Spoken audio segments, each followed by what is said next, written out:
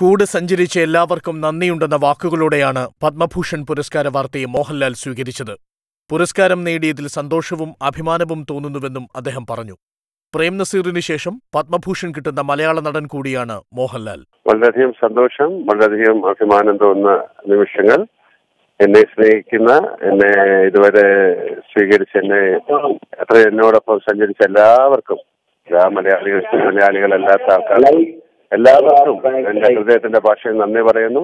അവരെ അംഗീകാരം എനിക്ക് കൊണ്ടുവന്നത് തീർച്ചയായിട്ടും ആ നന്ദി അവരെ ഈ അവസരത്തിൽ ഞാൻ അറിയിക്കുന്നു. പുരസ്കാരം ഇരട്ടി മധുരം നൽകുന്നുവെന്നായിരുന്നു നമ്പിനാരായണൻ പ്രതികരിച്ചത്. കോടതിയിൽ നിന്നുള്ള വിധി പ്രതീക്ഷിച്ചിരുന്നു. എങ്കിലും പത്മഭൂഷൺ ഒരിക്കലും പ്രതീക്ഷിച്ചിരുന്നില്ല. നിരവധി പേർ തനിക്കുവേണ്ടി രംഗത്തു വന്നുവെന്ന് മനസ്സിലാക്കാൻ കഴിഞ്ഞു. പുരസ്കാരത്തെ അംഗീകാരമായി കണക്കാക്കുന്നുവെന്നും അദ്ദേഹം കൂട്ടിച്ചേർത്തു.